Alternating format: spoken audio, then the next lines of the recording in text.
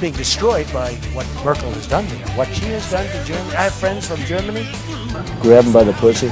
Grab him by the pussy.